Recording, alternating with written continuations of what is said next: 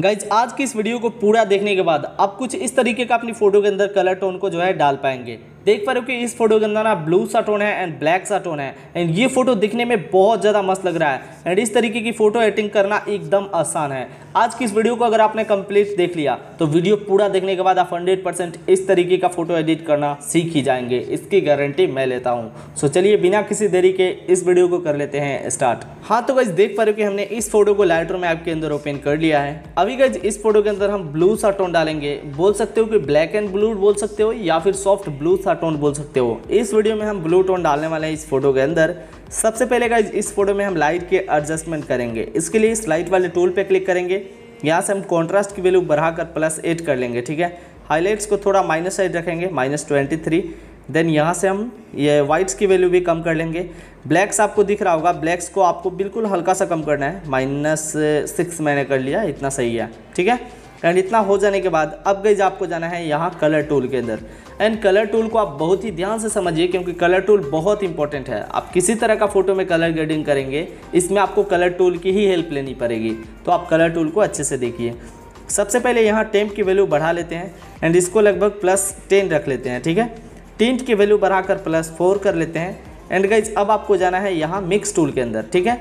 Mix tool बहुत ज़्यादा important है लाइट रूम ऐप के अंदर, क्योंकि यहाँ पे बहुत सारे कलर्स आपको मिल जाते हैं, जिसको कॉस्टोमाइज करके, जिसको अपने तरीके से सेट करके आप अपनी फ़ोटो में कलर ग्रेडिंग करेंगे। तो आप ध्यान से समझिए मिक्स टूल को। मिक्स टूल के अंदर आने के बाद सबसे लास्ट में आपको जाना है, ये देख पा रहे हो कि मैजेंटा कलर है। इसका सेचुरेशन आपको पूरा माइनस हंड्रेड कर लेना है, ठीक है? अब आपको पर्पल कलर के अंदर आना है। एंड इसका भी सेचुरेशन पूरा माइनस हंड्रेड कर लेंगे, ठीक है? अब आपको ग्रीन कलर यहाँ पे ब्लू कलर मिलेगा। ब्लू का भी माइनस हंड्रेड साथ ही साथ एकवा कलर है, इसका भी माइनस हंड्रेड कर लेना है। मतलब ये लास्ट के जो चार कलर हैं, इनका सिचुएशन तो आपको पूरा माइनस हंड्रेड कर ही लेना है, ठीक है? अब आपको ग्रीन कलर के अंदर आना है। एंड ग्रीन कलर की ह्यू को पूरा लेफ़्ट साइड की तरफ़ करना है। अब देख पा रहे हो कि फ़ोटो के अंदर कुछ इस तरीके का येलो सा टोन जो है आ जाएगा, ठीक है? अब आपको येलो कलर लेना है एंड इसकी भी ह्यू को पूरा लेफ़्ट साइड की तरफ़ कर लेना है, ठीक है? अब देख पा रहे फ़ोटो के अंदर दो दो टोन जो है आ चुका है। एक देख पा रहे हो कि ऑरेंज टोन है, एक दूसरा येलो टोन है, ठीक है? लेकिन हमें ऐसा कोई भी टोन नहीं चाहिए। सिंपल से गाइज़ इसका सेचुरेशन माइनस हंड्रेड कर लेंगे, यानी ग्रीन का भी सेचुरेशन माइनस हंड्रेड कर लेंगे, ठीक है? अभी गाइज़ आपको ऑरेंज कलर के अंदर आना है एंड इसको कुछ इस तरीके से सेचुरेशन को कम करना है, ठीक है? सेचुरेशन इतना रखना है जितना आपके स्किन पे ज़्यादा सही लगे, ठीक है? थोड़ा सा लुमिनेंस को बढ़ा लेते हैं। बाकी रेड कलर आपको लेना है रेड का सेचुरेशन ऐसे आपको बढ़ा लेना है, फिर, ठीक है? अब गई आपको ये ग्रीन कलर का एंड येलो कलर का दोनों का लुमिनेंस आपको कम कर लेना है। लुमिनेंस माइनस सिक्स एंड इसको भी मैंने माइनस सिक्स कर दिया, ठीक है? एंड यहाँ से इसको डन कर लेते हैं। अभी गई बारी है इस फ़ोटो के अंदर ना ब्लू टोन को ऐड करने की, ठीक है? ब्लू टोन ऐड करने से पहले हम फ़ोटो के अंदर ना कुछ इफेक्ट्स को ऐड करेंगे, जो कि बहुत ज़्यादा ज़रूरी है। अभी जाएँगे हम सिंपल से इस इफेक्ट्स वाले टूल के अंदर।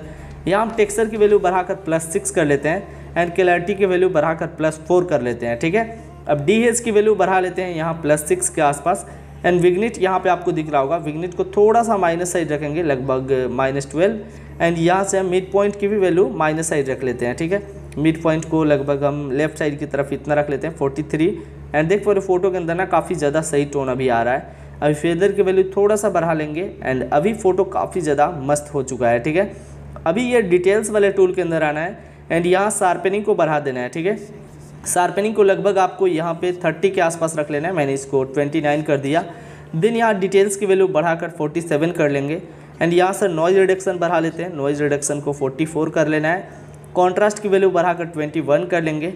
कलर नॉइज़ रिडक्शन को 41 कर लेना है, ठीक है? ये देख पा रहे हो कि फ़ोटो के अंदर कुछ इस तरीके का एडजस्टमेंट मैंने कर दिया, इतना कर दिया। आपको इतना चीज़ ध्यान से अपनी फ़ोटो के अंदर पहले कर लेना है, ठीक है? अभी डिटेल्स की वैल्यू हम थोड़ा सा और बढ़ा लेते हैं। एंड ये रहा डिटेल्स इसको भी हम थोड़ा सा बढ़ा लेते हैं. एंड शार्पनिंग फ़ोटो के अंदर थोड़ा सा और ऐड कर लेते हैं, ठीक है?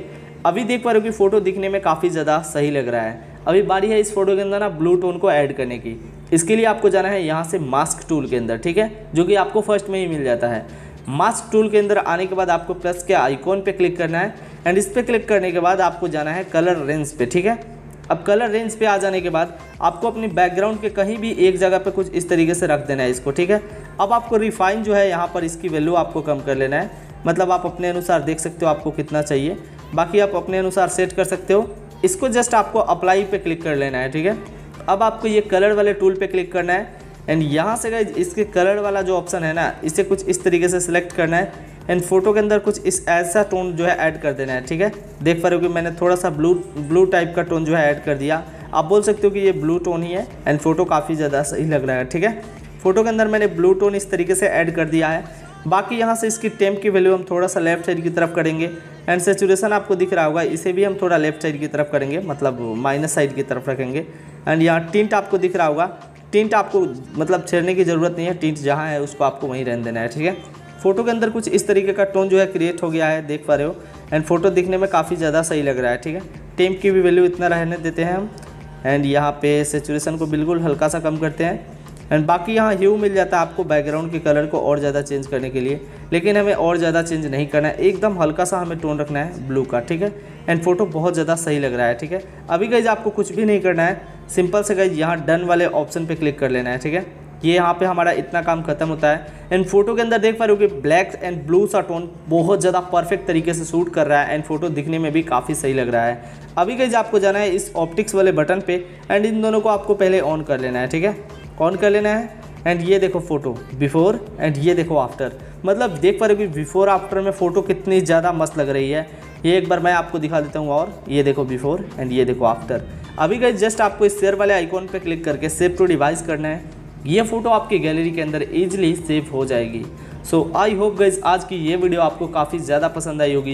एंड इस वीडियो को पूरा देखने के बाद आप 100 परसेंट सीख गए होंगे कि फ़ोटो के अंदर ना ब्लू सा टोन एंड ब्लैक सा टोन कैसे ऐड करना है, ठीक है?